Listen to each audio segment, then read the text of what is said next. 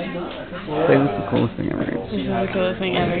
Why? I don't know. It's just really cool. But yeah, I don't know. You always see it on TV, and then you get here and you're like, what? What? this is no.